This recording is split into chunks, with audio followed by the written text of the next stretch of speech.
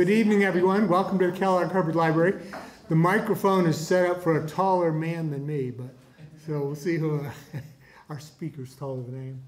But it, um, I'm Tom McKone, Executive Director, and it's great to have you here at the library. And it's really nice to be starting our fall adult programming again. During the summer, we go hog wild with children's programming, and that's great, and it's a lot of fun. It's fun for the adults too but we don't do very much adult programming in the summer, so it's really great to have this started again. And I'm so pleased that this is the third year we've partnered with the League of Women Voters to provide speakers. Last year we had a terrific series about constitutional freedoms, you know, freedom of speech, freedom of religion. Those used to be hot topics for like 200 years. And then we had these speakers last year, resolved everything. They haven't been in the news much. No, perpetual issues. But this year was a different, uh, a different theme for the series. And I'm going to introduce uh, Kate Rader from the League of Women Voters, who will tell you about this year's series. Would you please welcome Kate Rader? Thank you, and thank you for coming. Since Tom introduced the topic, I will say we started out when we were planning this series to talk about good government, and then it turned out the things that we were talking about were the threats to good government. And so we renamed the series Constitutional Crisis with a question mark. Tonight, of course, is, is Jim. Uh, in January, we will be discussing Does Your Vote Count? to learn about gerrymandering and how uh, partisan gerrymandering is making our voices, are constraining our voices. Uh, in March, it'll be liberalism and conservatism. What do these words mean historically, and what do they mean now? And in May, single issue politics. Are single issue politics useful, ethical? Does it matter if we talk about parties or individual voters? So I hope to see you at all of these. And meantime, to start tonight, Jim is, you know, is our Secretary of State. Uh, he gave this talk at a regional League of Women Voters meeting in Maine in April, and Vermont was the envy of the other of the other states there because of our wonderful Secretary of State. Jim?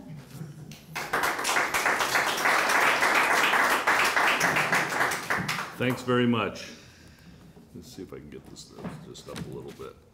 So, in case no one noticed, about eight weeks from now, we've got an election. And um, the time is now that we're beginning to ramp up. We've been focused on this for since May, and uh, we will continue to be focused as we go forward. As your Secretary of State, I'm actually very concerned about one thing that I've seen across this country, and that is it, it, it really does distress me and that is the suppression of voter participation across the country, all in the name of stopping voter fraud. Many of you in this room will be are well aware of what has occurred since 2010. I, let me give you a little background though. We as a nation have always struggled with the issue of voting rights for a good part of our history. Always though, the priority has been about improving voter equality and voter participation since the early days of our founding, when our electorate was limited to white, male landowners only, uh, we've had at least 10 either amendments or acts uh, by Congress to actually expand voting eligibility. Let me just name a few. 1870, the 15th Amendment, prohibited the use of a citizen's race, color, or status as a slave. 1920, something important to this group. The 19th Amendment prohibited preventing any citizen from voting based on their sex.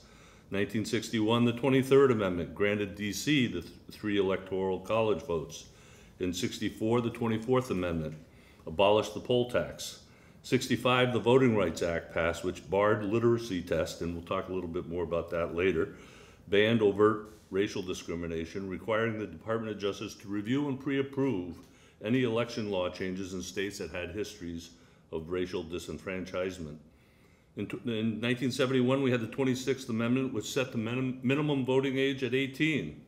In ninety-three, we had the National Voter Registration Act, two thousand two, Help America Vote Act, uh, in two thousand nine, overseas and military votes. And I know that Jim was, and Thomas were both heavily involved with the legislature when I was, uh, on the Senate Government Operations Committee to make sure we put a few protections into place. So we've worked really hard here in Vermont and across the country to expand voting rights. But now we're seeing, since 2010, the attacks. As a nation, we should be proud of where, where we have gone, but we're not so proud of what's happened since 2010. Many states are attempting or succeeding to reverse the trend. Democracy and access to voting should not be a partisan issue, but it's heading in that direction. We must ensure the placing of undue burdens on our rights as U.S. citizen is stopped and reversed before our democracy is further eroded. Denying eligible voters the ability to use their constitutionally protected right to cast a ballot is the real voter fraud. Since 2011, legislation is or has been introduced in more than 40 states to limit voter participation by one, requiring proof of citizenship, maintaining photo IDs in order to cast a ballot. And by the way, they, they would use the excuse that it will make them free and you can just go to any DMV office in the state and, and get your uh, voter ID. But then they started closing motor vehicle offices around the states.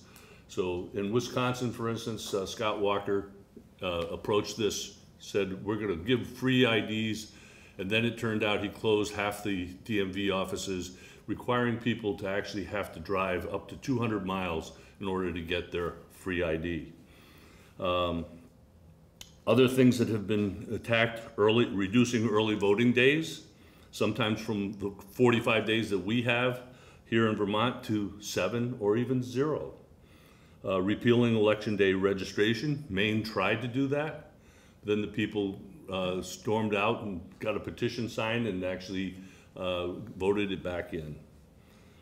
Restricting student voting. This is the new one. This is the one that's been occurring in greater frequency, um, especially even here in Vermont. We have, I, I can't tell you how many times I get calls about students voting, college students. They should not be allowed to vote here in Vermont if they didn't, don't live here.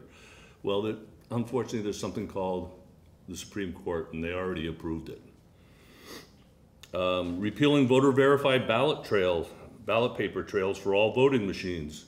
Some states, there's still about ten states that use, uh, what we call DREs, touch-screen technology with no paper backup. I have no idea how they do an audit, I have no idea how they do a recount.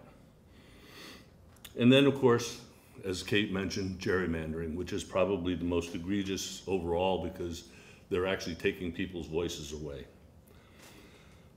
Most of the people affected by these are young adults, seniors, minorities, and low income. My own mother is now 90 years old, lives in a senior housing, and she has no government, uh, a valid government issued photo ID. Both her driver's license and passport have long expired. In order for her to get a voter ID, we would have to go through a lot of hoops to get her. She's also not very mobile, so it would take a real a real uh, process to get her there. So I, I tell people all the time that the very basis and core of our democracy is under siege. And I think it's time that we, hopefully this is gonna be, the this general election will be the start of changes. Uh, in Vermont, we continue to look ways for, to improve access. And our approach, and I'm proud of what we've done, uh, is to remove unnecessary uh, barriers while protecting the integrity. Uh, in, in going back to 2002, Jim, you were there. I think it was 2002 or three uh, that we actually put into statute that we required a uh, paper ballot, and I think you were the one that I wrote it asked for it. with Ben Scott. Yep. And uh, the- we also, in 2005, added general election, post-general election audits. In, let's see, 2009, we extended early voting from 30 days to 45, which we were under a mandate to have ballots ready and shipped out to overseas and military voters uh, uh, by by the 45th day before the election. Vermont already had 30 days of, of early voting, and they just, Vermont legislature said, if it's good enough for our overseas and military voters, then it's good enough for the rest of Vermont. So we added, we extended it to 45 days. And by the way, just for for information, you can check with your town clerk now if you want to vote early, because they may have already received their ballots. Officially, it's, the- they have to be ready by the 21st, but most of them are starting to receive their ballots now.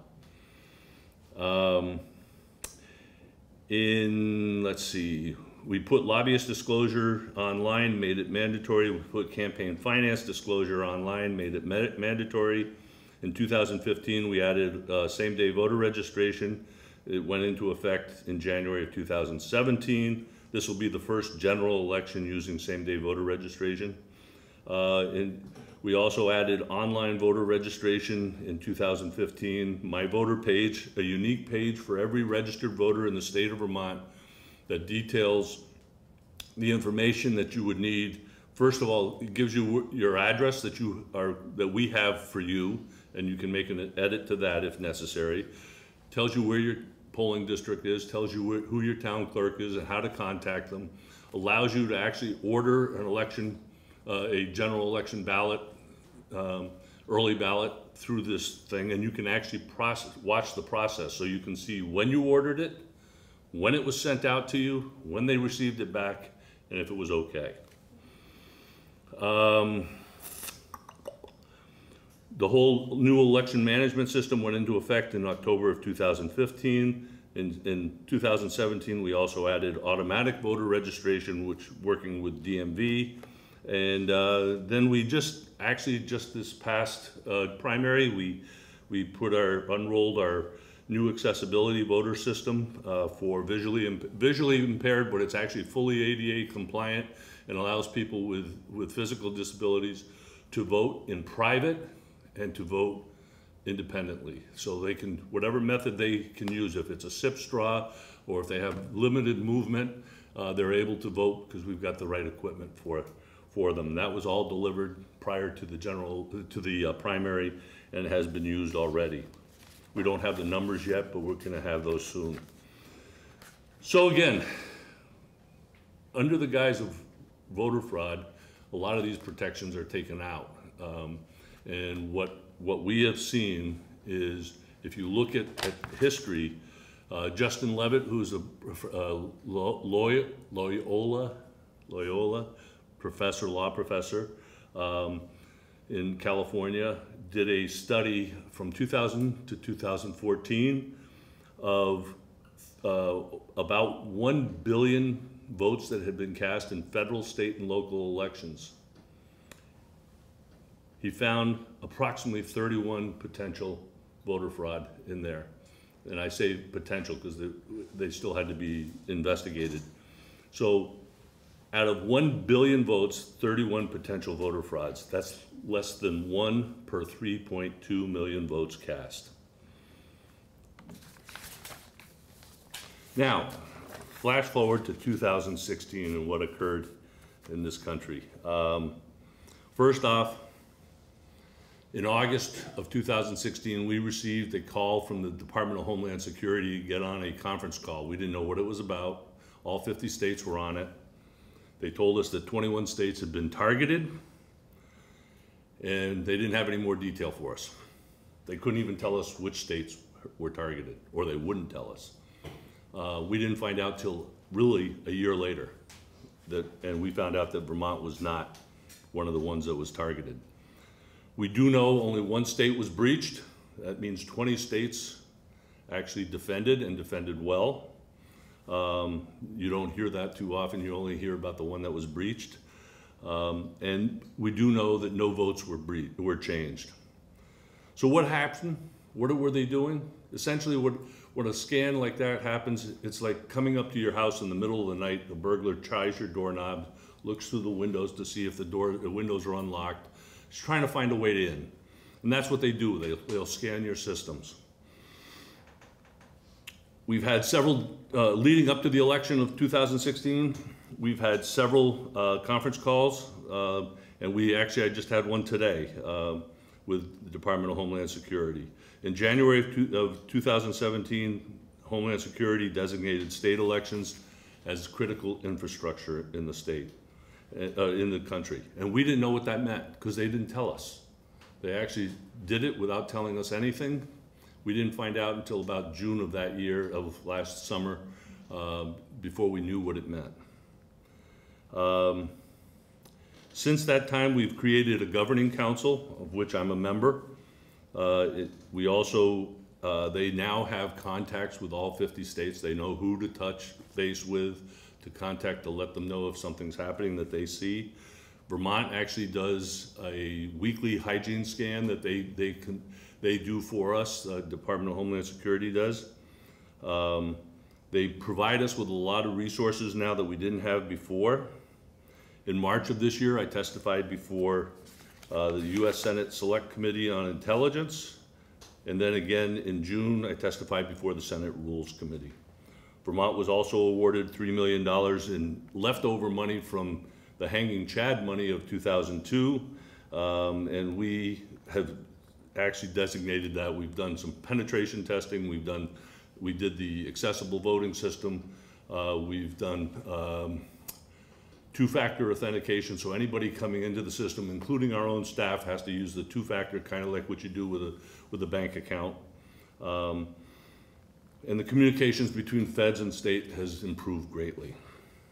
I also now have uh, Homeland Security secret clearance, so if there's any classified information, I can be told. It was an interesting conversation the first time, because we asked, why can't you tell us what's going on? Because you don't have secret clearance. And I said, well, how are we supposed to deal with this? How can you tell us, you can just tell us we're breached, but you can't tell us how or why or anything like that? Yeah. So that's why it's been so important to improve the, the communications between the federal government and, and state government. And I'm very wary of federal intrusion into our, uh, state oversight since that time, actually, we started in 2013. Uh, Our cybersecurity, our IT system was, uh, we we actually did a vulnerability assessment back then, uh, risk and vulnerability. We did a penetration testing. We've actually, like I said, in- implemented two-factor authentication. Um, We've done additional rounds. The Last round of penetration testing was done in April of this year. We are considered to be a model, uh, that our systems are strong, well-defensed. Uh, We are actually considered one of the leaders in the country on election cy- uh, cybersecurity. And now let me list the best practices. First of all, our, the tabulators that we use in about 135 towns are not connected to the internet. They're not hardwired, they're not Wi-Fi, they don't have remote access software. We use paper ballots. Those paper ballots, after the election, are sealed in, in secure bags, and then we store them, the, the town clerks store them for twenty-two months, which is just coming up right now for getting rid of the two thousand sixteen ballots. Uh, we do post-election audits. Uh, we have, um, all of our IT solutions at the state, at, at the Secretary of State's office has been, have been replaced since two thousand twelve. Because of that, we have better cy- cybersecurity as well. We do penetration tests ongoing periodically. Like I said, we do the weekly hygiene scans through the Department of Homeland Security. We have several layers of firewalls, web application firewalls. Uh, we have what's through the, what's called the MS ISAC, which is the multi, multi-state information sharing analysis center. Federal government's really good about acronyms. So the multi-share, MS ISAC, we have what's called an Albert monitor. That Albert monitor sits to the side of, of the internet pipe coming in and actually monitors all the traffic, sends it real time back to their headquarters where they can tell us within 15 minutes if we're being attacked or not. We're also a member of the E EI ISAC, which is a, uh, has a National Cyber Situational Awareness Room. We have an election day through the Department of Homeland Security. We have an election day dashboard so we can see if there's any alerts coming or anything that's happening anywhere in the country. Uh, we blacklist internet uh, addresses, um, and we, we actually block certain countries like Russia, China, um, North Korea, um, I forget the last one. Uh, we have the two-factor authentication, we do the daily backup, we have same-day voter registration. And the last thing that we do is we've done, uh, Secure the Human, actually working with our town clerks, uh, to do some basic cybersecurity, just so that they're aware. Eighty to ninety percent of all the breaches that are done occur because someone gave out their password to something. You know, when you get those things from the banks that say, oh, please, we've noticed some uh, action on your account, please give, you know, sign in here. And that's the kind of stuff, those are phishing emails and they're just looking to get in. That's why the two-factor authentication works. I like to say that cybersecurity is like a race without a finish line. It never ends and never will. Um, and at that, I will stop and take any questions. Yes, sir. Have you had help here from Norwich University? We have not, but we have been in touch with them uh, just recently. I'm also a member of the governor's task force, and they and uh, uh, Champlain College are both on that task force. Governor's task force on what? Cybersecurity. Sorry. Yes, sir. If someone were to penetrate your system, quote unquote, what system would that be and what damage could they do? Well, what they, what we saw in 2016 and where they actually, they realized that they couldn't actually interfere with the actual election results. Um, We do have what's called election night reporting. And it flashes in red letters, unofficial results, unofficial. It's separated out from that, from the rest of the system. It's only, uh, it, it's designated by itself. Um, they could possibly, if they were to breach, they could get into that potentially. Uh, we don't think so, because we've got it well defensed. Uh, the other place that they did get into in Illinois was the voter registration database. Uh, and there they could make changes, they could delete, they could just make a mess. And that's why we do an, an, a nightly backup of our system. So worst case, we would lose less than twenty-four hours of, of data. So anybody new, uh, would not get, be able to, would not be in the system because we've already backed up everything up to that point. But we also have election day registration, so even if those people showed up, they're not gonna be denied. That's part of the resiliency and redundancy. So it seems like one of the dangers of the My Voter page is that if they were able to break into there, they could request ballots or just monkey with that whole system. There's a, you know, I guess you could say that, but there- there's, uh, it's, it's limited as to what you can do with that. And the last thing is, the town clerk has the last say. So anything that they're doing, it shows up on the town clerk database. So if, if, on their dashboard.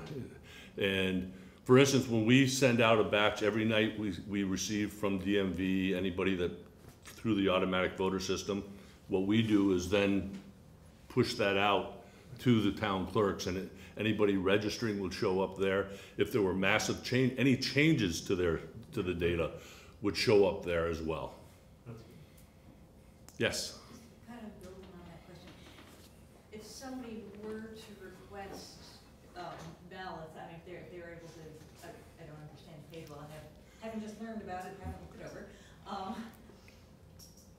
If they were, it can, so- so people can request ballots from my voter page, you said? yes, Okay, but they would still need to be registered somewhere in order for those ballots that they request to be. yes, you can't get into the My Voter page if you're not registered. Okay, So you have to be a registered voter to get into the My Voter page. If you, if you get that ballot and send it in, what happens to it? So the clerk receives it, first of all, you, you have to put it in the proper envelope, there's two envelopes system. You have to put it into the inside envelope and sign it, seal it and sign it, and then that goes inside of, outside envelope. The clerk receives it and just looks at the outside and says, okay, uh, John Smith is returning his, his early ballot and checks off on the, uh, on their checklist that we've received back your ballot. That stays intact at that point, and it goes into a lockbox. Um, The clerks, in Vermont, we do not allow the clerks to start processing their ballots until the day of the election, so they can only do it on the day of the election. And what they do is typically they'll open up all the election, the absentee ballots, commingle the ballots, and then submit them into the, into the tabulator if you're using a tabulator. If not, they go into whatever lockbox you use. So if the person shows up election day, can they change that? No. No, once, once the clerk receives your ballot, you're done. So once the clerk gets the ballot back. So the, the book where they keep track of people who have been voting, you, you would, uh, you would show up next to your signature that you have already voted then? Pardon? When, when you, when you go to vote in the book where they, they check next, you know, that you've got your signature on record? Yeah, it would show that you had already voted in that? It would show that. So that their, their checklist that they will print, usually the night before the election or that morning before the election, depending, I think, on the size of the town, um, will have recorded everybody that's sent, that's received a ballot or sent it back. Tom? Now, on the My Voter page, somebody who's clever breaks into the system and changes my address to something else and requests a ballot to be sent to that address. And then they can vote on it, and then I'm deprived of the vote, right? Well, what's gonna happen, first of all, is that when you, when that request goes in, it's gonna show up on the town clerk. Any change to your address will show up on the town clerk dashboard. And if they question it and say, well, Thomas Weiss didn't move, I know that. But that requires that kind of personal knowledge, which I Sure. doubt is available to every town clerk all around Well, the the state. same thing could go, you know, someone could walk in and do the same thing, just walking into the town clerk's office. There would be a process for Tom to contest it. If you got there and said, well, I Yeah. didn't vote, and they said, that said you did, then you can. Well, and you would be surprised how many times people have shown up and said they did, they didn't vote, but they actually did. They forgot that they mailed in their early ballot, because forty-five days is a long time. It's, you know, it's eight weeks, seven weeks. So, So you allow them to vote, and then not, not a second time. what if they say they didn't send it in, and Then that would, that would show up as a, a, um, that, there would be, Provisional ballot? there's a process then.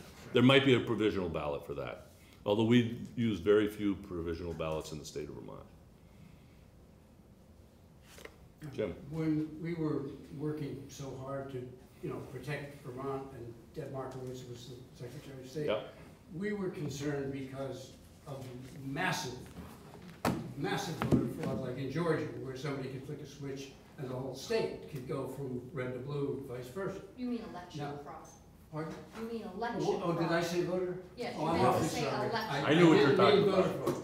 I meant election fraud, yeah. I still have my concerns about There- Georgia. There's hardly ever been any voter fraud, it's true, but that's, so the election fraud, um, we, we jumped into the fray because of that potential for massive, massive change.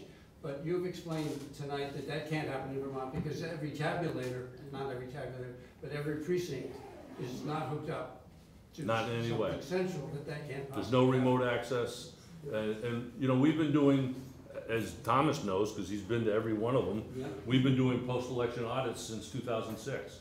Mhm. And in two thousand twelve, we actually strengthened, it. up from two thousand six to two thousand twelve, it was enabling la- language that allowed the Secretary of State to do a post-election audit. The Secretary of State did do one after every po- uh, general election.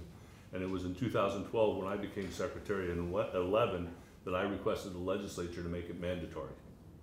So Yeah, it's now mandatory, and we, we do a random, au- the way our system works is we do a random audit, a random selection of towns, and we, um, we actually do, what we used to do prior to two thousand twelve, we would pick two races, probably a federal race and a state race, and say, those are the two races we're gonna audit.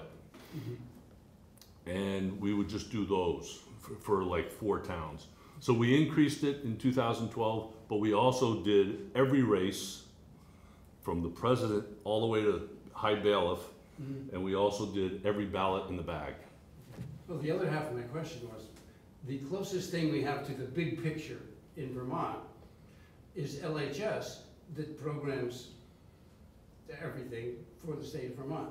And the argument against my attempted safety moves was that, oh, well, they're friends of ours, you know, we have dinner with them, they would never do that, and it's against the law. I never said that. No, no, you never said that, that's true. But I was at, at large meetings where I'd be sitting on the stage and say something like that, and they, oh, that would never happen. Well, across the country, we know it happened, people went to jail for doing it. So is there anything that the state of Vermont can do, or does, to make sure that LHS hasn't pulled a fast one? Well, first of all, we do do, about ten days before the, uh, the town clerks will do a logic and accuracy test on that. And they can run through a hundred ballots or five hundred ballots, whatever, to, to check it.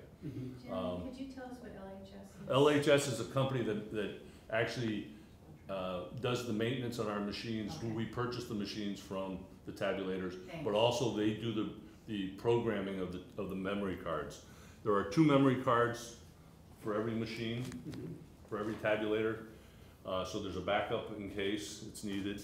Um, and, and the town clerks, as I said, they do a logic and accuracy test about ten days before, and then on, on election day morning, they start it up and they zero it out and make sure that everything is, is kosher at that point. Now, I know the arguments about, well, they can program it for five thousand ballots down, whatever. Uh, First of all, if that happened, LHS would be out of business the next day. That's the first thing I'll say. Secondly, we are going to be going out for new tabulators probably next year.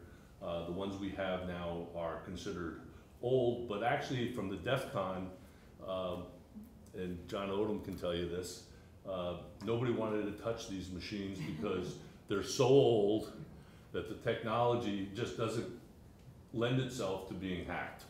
Now, I will tell you, if you have a computer, whether it's a cell phone, a laptop, it doesn't matter. Anything can be hacked and you have to prepare for it. That's what we've been doing is trying to prepare for a potential hack. Um, I will also tell you that we're doing everything we can. Um, I think we've done very well. In fact, our latest penetration test, the, the company that did it, uh, said that we were considered a mature, well-defensed, uh, uh, agency that has probably leading, um, better than most people, most agencies across the country. Thank you. So we, we're constantly focused on it. And taking off what Jim said, um, we did get the paper ballots required a number of years ago, and it seems since then, the use of the paper ballots has become less and less relevant, because people don't actually look at the ballots anymore. Uh, You know, the initial audits where people actually looked at the ballots and, and compared them with what the voting. In the audit, you mean? in the audit, sorry. Um, so I, I, and now recounts are required to be done by the tabulators, even if they were counted by people to begin with. Um, and so my question is to give skeptics, myself and others, confidence in the counts, when is we going to have open source counting software? So we Um, know what the That will be one of the things that we'll be looking at when we go forward with a new system. Um, Looking at, not requiring. There are also some problems with that as well, but I, I can't get into the detail because I don't know all, I'm not a tech guy. Um, But I, I think, I want to make clear that every audit we've done, we actually have a memory stick that has all the ballots listed. We, we've got a, we've captured those images of those ballots, so we can tell, and I think you will remember, we actually can, we can pinpoint um, when we do the audit. It's like, it's similar to a risk-limited audit.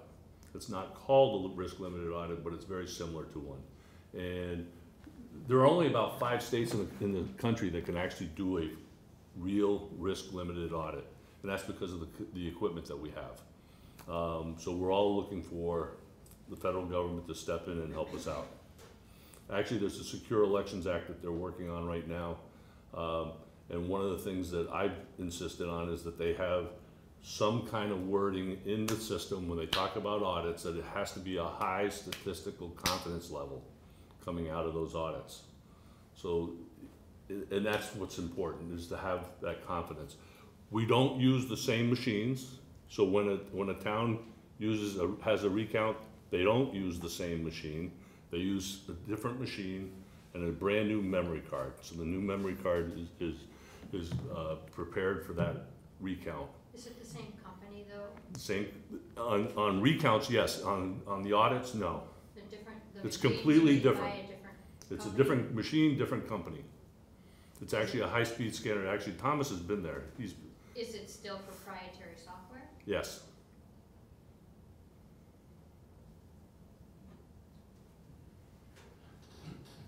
I had a follow-up question, back to it in a moment. Yes, ma'am. To what extent do you, your notes and breaks from other states to um, see what, uh, best to try to standardize something or to join forces? Uh, Well, first of all, let me say that the National Association of Secretary of States, which includes, is the oldest nonpartisan um, governmental en- entity, uh, and has, we have 50 states that are members, as well as six territories. And in July of this year, I became the president of that organization. Uh, So I can tell you that I've been on the phone a lot with national press since that time. Uh, and about cybersecurity. Um, and, and frankly, some of my colleagues, some of, some of my uh, red state colleagues have been really upset with me because I said that paper ballots are a, a best practice, post-election audits are best practice. And, you know, I've listed same-day voter registration, daily backups. They don't want to be told by the federal government anything. And it's a, it's, you know, we got two camps of, of secretaries, and it's not always red states and blue states. There's some crossover, like our state to the immediate east. Um, He's, he's a Democrat, but he wants no federal intrusion, and actually, I have said often that the only thing he's concerned about is making sure that he keeps his number one uh, state, the first state in the union to have the primary, for the presidential primary. And uh, it, it- it's, it's problematic, and, and I'm hoping, what I did when I first became the, the first thing I did as, as the president of the National Association of Secretaries of States, we call it NASS, uh, was to create a cybersecurity committee that we didn't have before, so that we could have these discussions, to talk about best practices. Um, now, we only meet twice a year, so it, it, you know, we'll, we'll try to have some discussions in between, but we only meet twice a year. I've testified before Congress, again, I've said that best practices are paper ballots and post-election audits, that, um, that I personally think that, that, that Congress should step in and make some, um, mandates to the rest of the country. Um, people don't like that, though. They really don't like that. And, uh, you know, I mean, you mentioned Georgia, and Georgia, I mean, they just found out today, or this week, I think it is, it's been reported on the news that uh, a incumbent state senator may have lost his race because uh, there were more people who should have been listed in his district that were listed in a different district, and, and vice versa. And there were more votes. He lost by 67 votes, and there were like 77 people who voted in the wrong district. Um, which is more than what he lost by. So, you know, is, is there a problem there? I'd say yes. Um, I, my colleague down there is running for governor, and he doesn't really care much right now about his Secretary of State duties. And I'll just stop right there on that one. Any other questions? Yes? I'm worried about your mother. So, Me too. So is there a practice or a, uh process for like a JP to bring her a ballot? Yes. And it's JP only or? No, it, it has to, there has to be two people, one from each party, or they have to be, they can't be, I- Two I'm sorry. JPs. They can't be in, the- of the same party. And, and I'll, I will tell you that, uh, I've worked with the South Burlington Town Clerk, and she actually takes a couple of her folks down, and they actually, with a couple of JPs, and they go- actually go to the different, um, senior housing projects to, uh, actually work with them to, to register them, to uh, help them vote. Um, But uh, we're really pleased with our new system. The old system was a analog phone uh, with big numbers. It was, the, the federal mandate is actually just for visually impaired.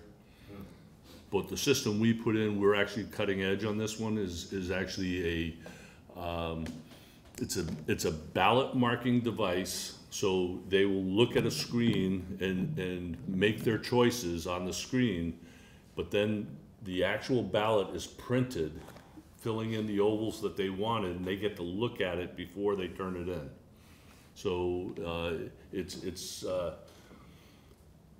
we- we're one of the first in the country to have that, and, uh, and, and it's uh, actually an exciting, we're actually thinking that we might be able to use it with overseas as well, um, because there is a, there is a portal, now you can't vote over the internet, but we are, we actually do send ballots by inter, by the internet to people if they have an email address. So are- is the JP system uh, sufficient to the need? Well, There are enough JPs that get out in every town to, to- to cover the whole? The larger towns have fifteen, the smaller towns have five, uh, and then I think there's a middle seven or eight in, in the middle somewhere. And, and I frankly, um, the, the town clerks also will, um, recruit other people to come in and help, she'll, if you wanna call it deputize them. So, Oh, it, so it does, they, they do have that ability, and what I wish, though, it says, I mean, if you look at what the duties of a JP are, elections are part of their duties. And there are a lot of JPs who don't want anything to do with elections. And my opinion is if that's the case, then they shouldn't be a JP. No, it's Board of 'Cause it- Exactly. Well, the JPs are part of the Board of Civil Authority along with the, the legislative body and the town clerk. So Thomas. advertising is how uh, Montpelier gets two people to go out, it's all our JPs are Democrats? I don't know how they, I'm, I'm not aware of how they do it. Most towns. Individually. But, but if all our JPs are Democrats, then how do they? Then they can recruit. Wh- What are, okay, then. I don't know what they do, but that they can. They can. So I was a JP in a town that was all Republican, and they went out and sought, you know, six Democrats to be JPs and six Repu, I mean, they split it Yeah. up because of that, so that you.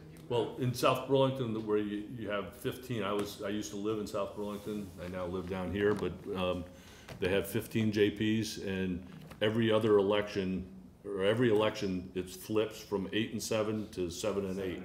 And, uh, so, and, and there's just a gentleman's agreement between the, the, uh, the, the two parties to do that, so. But then you look at what Burlington has, um, they have, they have fifteen JPs. Um, and they have, on their ballot, they'll have a minimum of fifteen Democrats, fifteen Republicans, fifteen progressives, and then could be up to fifteen additional independents or whatever.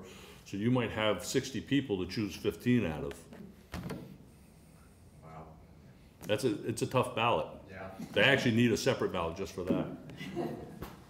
We just um, did a television program recently on, focused on anomalies partly, and what to do if you spot an anomaly. And I'm wondering, in, in Vermont, could you go over the, those people who can request a recount, like a judge or another candidate, that- and then add afterwards, I found out from the Attorney General that after those twenty-two months are over, we the people are not allowed to look at those discarded ballots. They have to That's be- not true. Well, that's a letter that I have from Mr. Duane, says that's, that's the case. No, what, what, here's what, here's, what- there was actually a court case, I think in Thetford or something, I'm not sure exactly which town, but I think it was Thetford.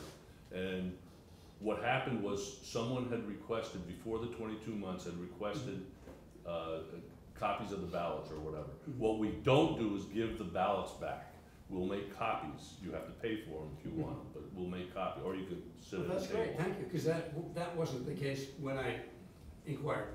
No, there, but what happens is at twenty-two months, if the town clerk, the town clerk has authorization to destroy those ballots at that mm-hmm. point. If they don't, and someone comes in and asks, they can't then destroy it, and that wa- was what this case was about. So she still had the ballots, someone came in and asked for, to look at the ballots, she said no and destroyed them. And that violated, uh, uh, uh, Public Records Act And common sense. and common sense. So let me see if I understand correctly. So, um, some election integrity ex, uh, experts would have said that Vermont's twenty sixteen gubernatorial race, the outcome of that reflected a certain kind of an anomaly, which is to say, if people remember, uh, the race was too close to call, too close to call, too close to call, and then the outcome was that Governor Scott won by an extreme number of points. So this particular election expert, Jonathan Simon, said that is the type of anomaly, and when, and this is an interview that I heard, I actually uh, have heard. Who's say- Jonathan Simon? I don't He's an even, election, a national election Okay. integrity expert. Yeah, he wrote the book Code Red, which explains sort okay. of the history of all the different kinds of So I'm listening to this interview and he's, he's describing the various anomalies on this interview. And it's like, wow, that just happened in Vermont, twenty sixteen. So it, do I hear you correctly that if some group of citizens wanted to go into, let's say, eight different Vermont towns and look at all of the ballots for the twenty sixteen gubernatorial race, we would be allowed to do that? No, not during the twenty-two months. Unless you got a court order to do it. But you have to wait. That's till- different, that's different from what he asked. That's not anything close to what he asked. Right, I asked after the twenty-two months. After the twenty-two months is what he was After the saying. twenty-two months, but before they are destroyed. So what's the process? Because. You make a request to the town clerk to, to view those ballots And then you get to view them after twenty-two months. after twenty-two months. They are sealed, and, and there's a, there's a protocol as to how they can go, the only reasons they can go into that bag are, one, to do the audit, if their town has chosen to do an audit. So we, we can break, we'll break the, the uh, seal and, and then reseal them, or if there's a recount. On election night, they seal those bags. And, and you can't get in, you're not supposed to go into them. We actually had a case where, uh, we found out, I forget which, when it was, it was, a I think a couple of years ago, where the town clerk mistakenly put all her register tapes into the, into the thing, and she broke the seal and pulled out. Actually, it was the recount for, uh, Bob Frenier, with, with Susan Hatch Davis. Yes, And, and the, the court just killed that, that recount at that point. Basically said, no, it's not gonna go forward because the clerk had tampered with it by opening that ballot and not telling anybody. right. So, we- so we could actually talk about that particular thing, and in the end, without the recount, the Republican got the seat. Seven, by seven votes. It hadn't changed, the, the margin of error hadn't changed in the initial recount. So there was, there was two sets of recounts that were done. Right, well, this is really complicated. I had a two and a half hour conversation with someone who took me through that recount step by step, and it was way too complicated to go into now. Well, since that time, we've actually changed the recount process. We've improved it. And it's worked, Improving is great. we, we just, we just, actually, we had, what, two or three recounts just recent, in the last two weeks? We actually, Colchester ended up with, the judge had to make a decision on one ballot, where the woman that was running, she ran a write-in campaign and ended up one vote behind the, the winner. I'm, actually, she won on election night. Then he asked for a recount, and in the recount, they were able, voters' intent, it's a, it's a, that's the process, is to determine the voter intent. And there was one ballot that they questioned, but at that point, she was one vote behind. And they took that one ballot to the judge, and, the- and the problem was that the person that voted for this woman voted using her maiden name, because she didn't know her, her married name.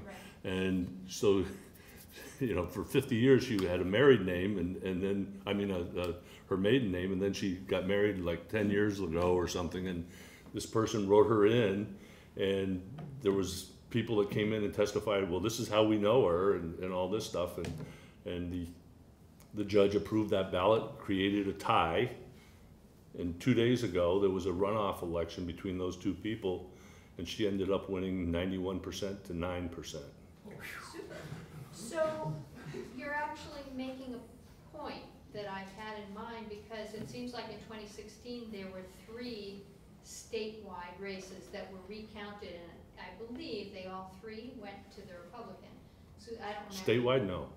Uh, Susan Hatch Davis. That was not a statewide race, that, that's a county, Sorry, that's, I- I that's a mean district race. State legislature as Okay. opposed to, um, One of the top six. Yes, thank you. So it, it seems to me that it might be a very useful thing that if a race comes within and pick the number 10, 15, 20, that that would trigger an automatic recount. Well, the language in Vermont does not make it an automatic recount, but it does allow for someone, for the, the loser to do, to ask for a recount. I think, I'm trying to remember, I think it's five percent in the House race and two percent, it's either five percent in the House race and two percent in the statewide, or vice versa, I forget which one it is off the top of my head, but, um, there is, there is a And are trigger. those- Are those, I'm glad to hear there's a trigger, and then are those recounts hand recounts? No. Not anymore, the legislature changed that, I think in fourteen? Something like that. But it can't be done on the, sa- any of the same machines from that town or that district. So if you had, say, five towns that fed in, you'd have to go get two other machines, two other tabulators from another town away from those. And then there's a new, new, uh, memory card that's created for that. And it's still proprietary, But every ballot is looked at. okay? Keep that in mind, every ballot is looked at, at, on election night. It's not just what goes in, because every ballot, when they go to count, they pull out all the ballots, and the first thing they do, or they should be doing, is reviewing each ballot to look for any discrepancies. In, in other words, um, write-ins, to look for someone that might have circled the name instead of filled it in, because that happens. That happens a lot. And you, you remember from the, the uh, audits that we had cases where people just, a dot, uh, they just rested, it looked like they just rested their pen on top of the person, but then when you actually open up the whole ballot, you can see that that's how they voted, they just put a dot on each one. So, yeah, I mean, we had, we have these systems in place for a reason, and we, and we actually deliberately in two thousand twelve, we made the, the, the audit has to use a different system, it can't use the same system. And, and we have found over the years that hand counting ballots has actually created more mistakes than not. And I'll give you an example. Um, the Randy Brock, Tom Salmon race in two thousand six, Tom Salmon lost by hundred and eighty votes. He asked for a re, out of a quarter of a million votes that were cast, he lost by hundred and eighty. When the recount was done, they found actually that there were fifteen, I don't have the records, but we found that there were fifteen towns, hand count, that made mistakes in the way they recorded their, their numbers. And that's what occurred, it flipped it, and Tom Salmon ended up winning that race in the recount. So in the audits, is there a hand count? No, Okay, so that, is that what you were getting at, Thomas, by saying that the paper ballots don't matter in the audits? That's partly it, yes. I mean, they, So you have a memory stick with facsimiles of scans of all the ballots correct. for the. It's a high-speed scanner, different, different equipment, not the same equipment, not the same company, So not the same brand. Is, is that a public record that could Yeah, be It's actually requested? posted on our website, I So a think. person could do, uh, their own hand count for the audit, Sure. compare it with machine count, thank you. Is that facsimile, high, high density image uh, available for all districts or just for the ones you're going? Just for the ones that we audited. Any other questions? Thank you very much. You.